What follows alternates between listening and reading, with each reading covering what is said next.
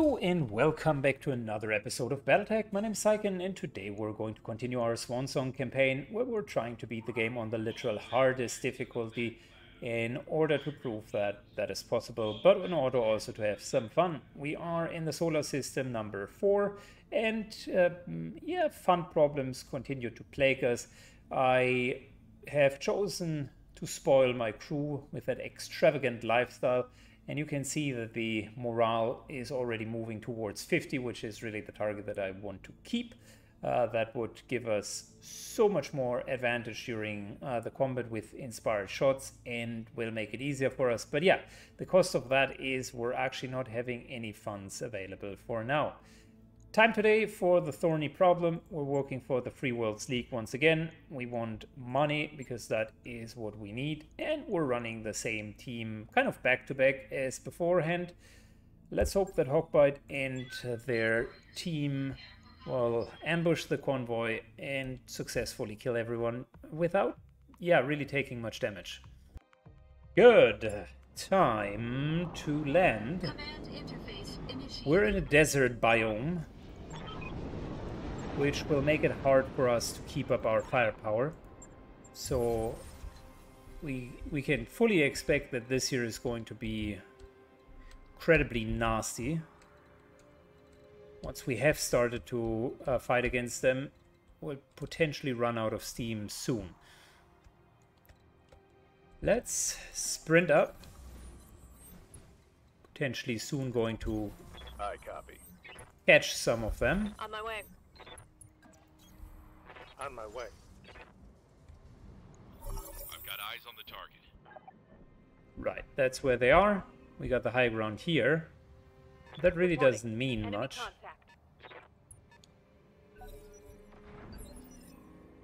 Good, reserving.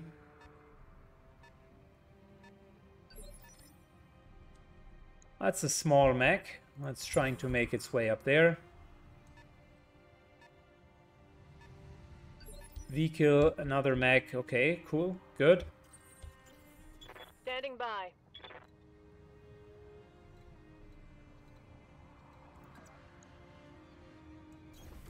Alright, Firestarter moves up, doesn't see the vehicle, sees a trebuchet, and sees a locust.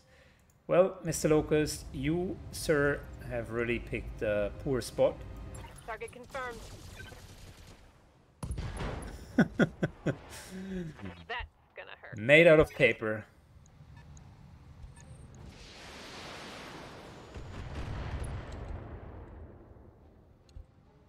Systems holding. What's up? Yeah? Alright, Mox moves up.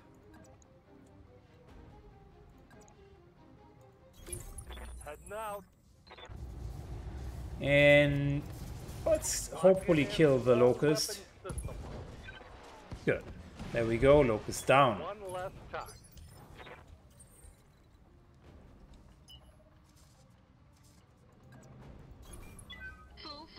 Blackjack moves in.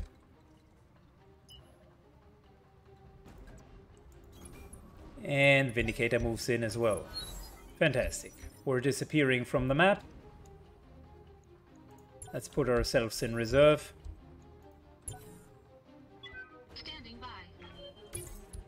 Trebuchet moves in.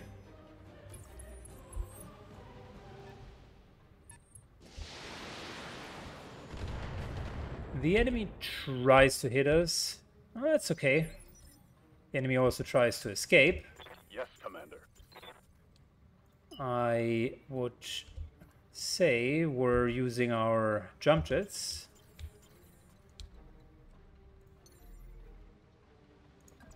Firestarter jumps down here and you can see that there is a recon vehicle, one that we need to get rather sooner than later. Firestarter begins to unload on the trebuchet.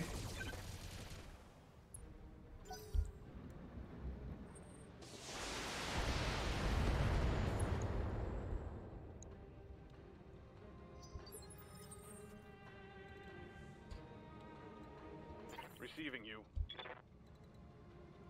Good. So, Vindicator moves down.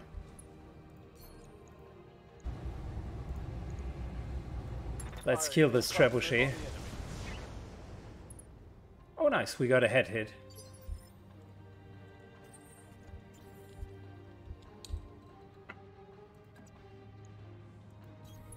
No problem. Mox moves in.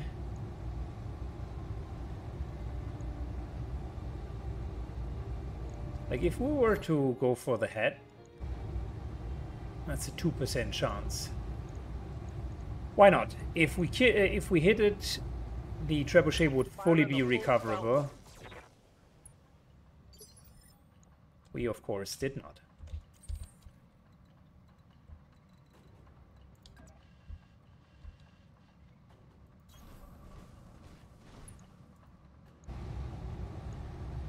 Hawkbite begins to unload. Weapons committed. Enemy mech. Critical damage. And boy, the trebuchet is really, really down.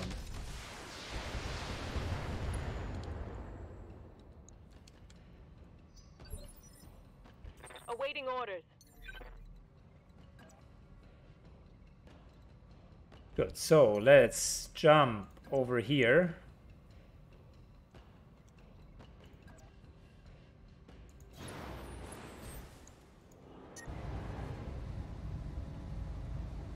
And that guy is not uh, not well armored. Primary target damage.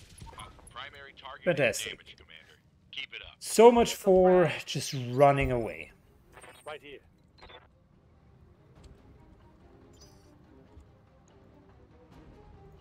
Ready for orders. Trebuchet. Almost down.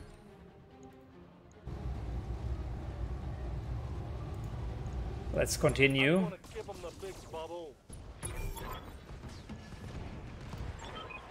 Fantastic. Trebuchet down, and we're ready to take on the rest.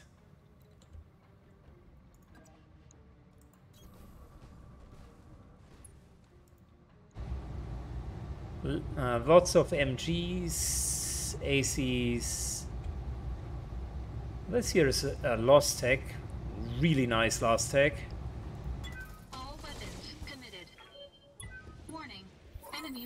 Starting to hit the guy. And of course, it was too easy. It looked too easy, so it must have been too easy. SRM carrier? Oh yeah, we're oh yeah, we're going to go for the SRM carrier. Not even a question. Locking on target.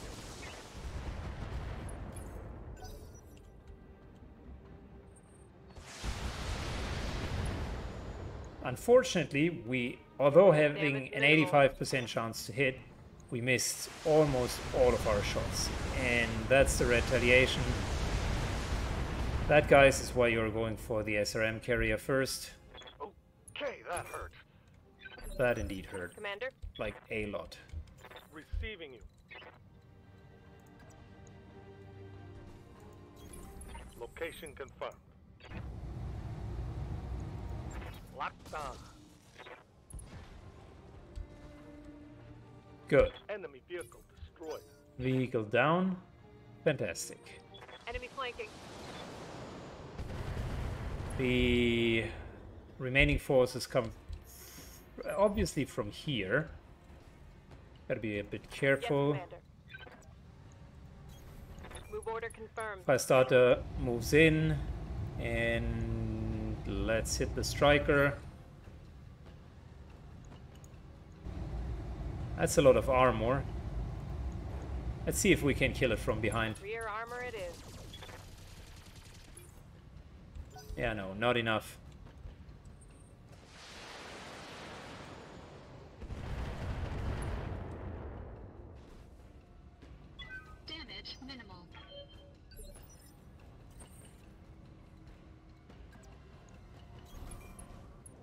Good, we're moving closer.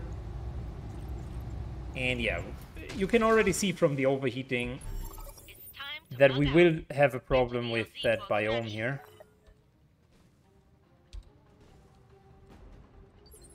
If we're continuing to destroy that additional force that's fighting against us, that'll be another 25% bonus.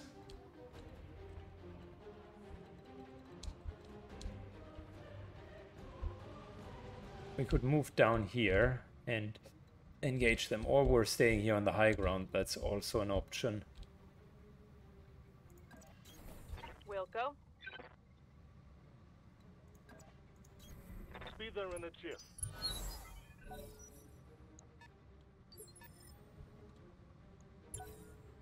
Let's wait and see what exactly we're dealing with.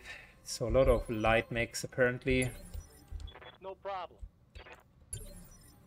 Waiting for the right move. I still would like to keep the high ground. Commander.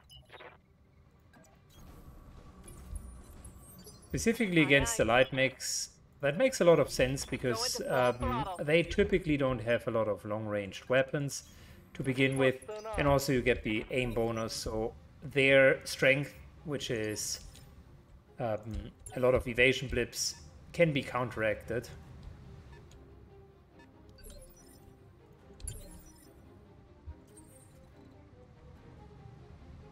Ready for orders.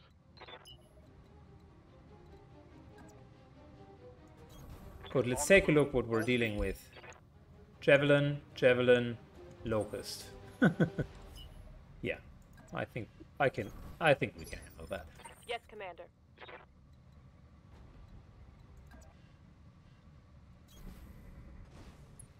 Bastarda moves up. Target locked. Starting to at least hit the Javelin. Yeah? What can I Every do? little bit of damage counts.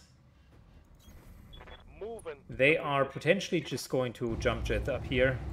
Target acquired.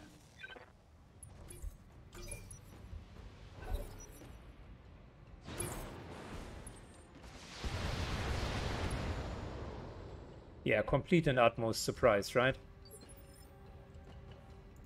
What's up, Commander?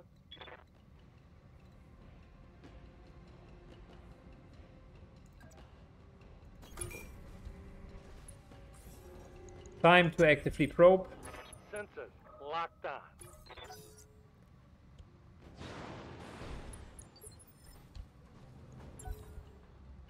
Good, we're just going to wait. They have literally no counterplay.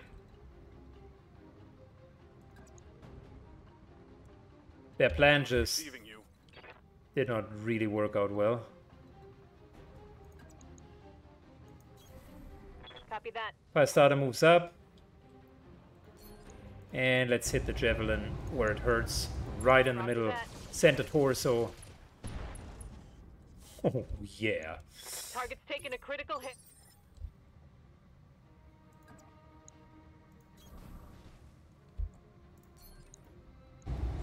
And now we can see just how uh, the morale bonus pays out. Lots of extra resolve. Enemy mech destroyed. Yes, Commander.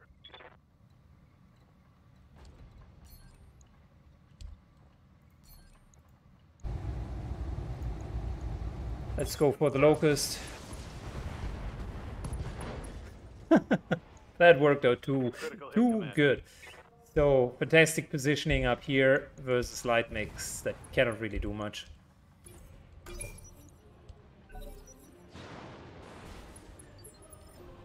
Aye, aye.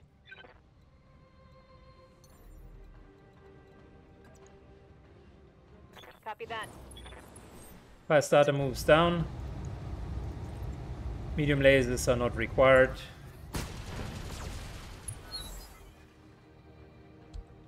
Good. Hostile eliminated. Good to Locust is down. Piece of cake. Raven moves up.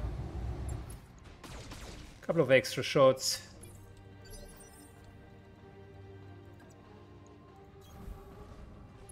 And let's use our precision strikes that are also reducing the initiative.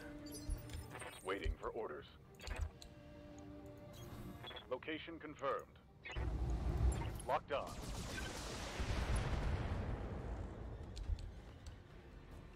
Reporting critical hit.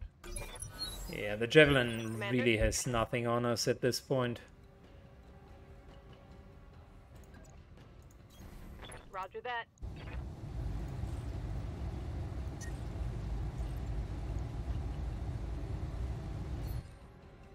Precision strike where it hurts.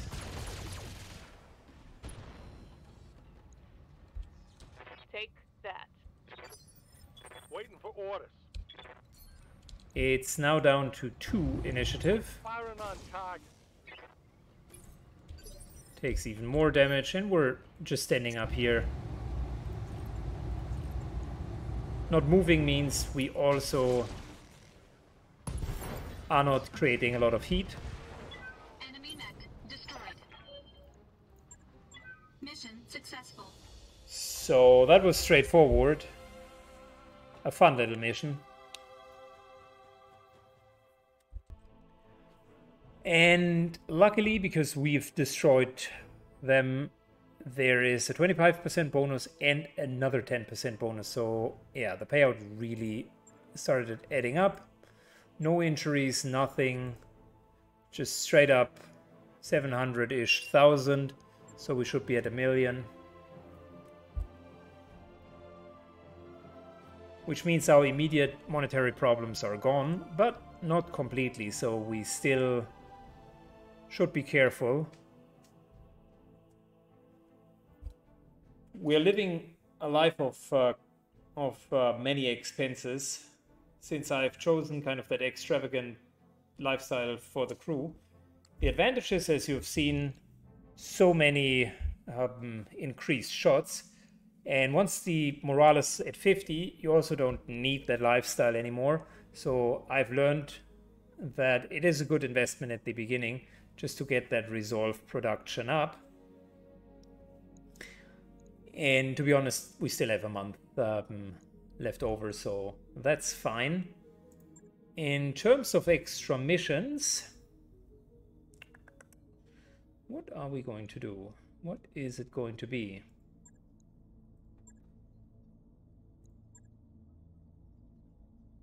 I don't know, guys. This is potentially the last mission, so it seems like an eye for an eye is the right play. But assassinate missions can be tough. Escort missions sometimes as well. You might fail the mission, to be honest. But it has a better biome. I really like the polar biome. Let's go with that first. And let's be greedy. We want it all. 520.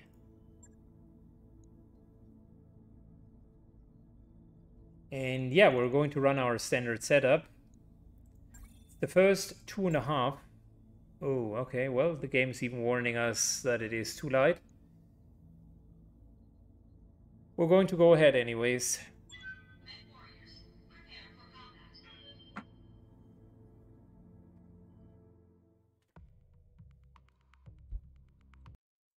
Alright, short update in case you're wondering why the mission will stop here. I've played the following mission and decided to uh, cut both of the videos in half because the next one is actually quite a banger. Uh, so um, it will end in a cliffhanger here. The next one is a two and a half skull mission and rest assured uh, that will be eventful. I'm not saying more. If you want to know more, uh, tune in in two days. Thank you and have a great one. Bye bye.